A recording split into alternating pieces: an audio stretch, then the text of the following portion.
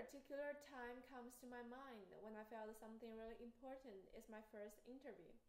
I was really excited about getting my first interview, but I didn't prepare for it. So when the recruiter started to ask me questions, my mind went blank because I didn't know how to answer those types of behavioral questions. I ended up messing up the interview and I, I was so frustrated. But after that, I didn't want to give up on myself. I was eager to succeed in my future interviews, so I went to a lot of interview workshops and watched many tutorials online.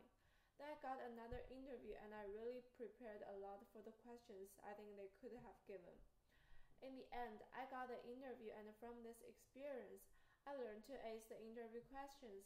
But most importantly, I learned to prepare for everything well in advance and always overcome the obstacles with courage.